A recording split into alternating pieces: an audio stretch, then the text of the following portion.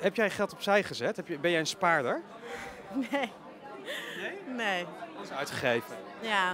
Ik heb ook een heel duur huis. Maar dat ga ik wel proberen te verkopen nu door de crisis. Serieus? Ja. Hoeveel spaargeld heb je? Nul. Echt? Ja, ik heb helemaal niks. Ja, je hebt enorm veel werk, waar heel veel acteurs eh, jaloers op zouden zijn en regisseurs, maar daar heb je niks over gehouden. Nee. Verstandig. Toen ik, ik had, maar oké. Toen ik bijvoorbeeld verliefd op Ibiza deed, dan was ik klaar. Toen moest ik alles wat ik had verdiend meteen aan de Belastingdienst geven. Alles. Moet je dan niet een keer een financieel adviseur of zo in dienst nemen? Jawel.